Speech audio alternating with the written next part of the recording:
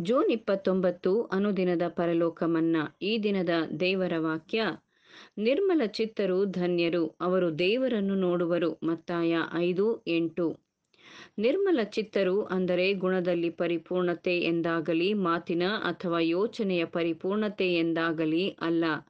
ಇವೆಲ್ಲವುಗಳ ಮನೋಗತ ಉದ್ದೇಶದ ಪರಿಪೂರ್ಣತೆ. ನಮ್ಮ ಆಶಯ, ಯೋಚನೆ, ಮಾತು, ಕೃತಿ ಇವುಗಳ ಪರಿಪೂರ್ಣತೆಗಾಗಿ ಪ್ರಯಾಸ ಪಡುವವರಾಗಿರಬೇಕು ನಮ್ಮ ಮುಂದಿರುವ ಪ್ರಮಾಣ ಎಂಥದ್ದಾಗಿರಬೇಕು ಎಂದರೆ ನಮ್ಮ ಹೃದಯ, ಚಿತ್ತ, ದೈವ ಪ್ರಮಾಣದಂತಿರಲು ಸಮ್ಮತಿಸಬೇಕು. ಪರಲೋಕದಲ್ಲಿರುವ ನಿಮ್ಮ ತಂದೆಯು ಯಾವ ದೋಷವೂ ಇಲ್ಲದವನಾಗಿರುವಂತೆ ನೀವು ದೋಷವಿಲ್ಲದವರಾಗಿರಿ. ದೇವರು ಈ ಪರಿಪೂರ್ಣ ಮಟ್ಟಕ್ಕಿಂತ ಕಡಿಮೆ ದರ್ಜೆಯನ್ನು ನೇಮಿಸಿಲ್ಲ.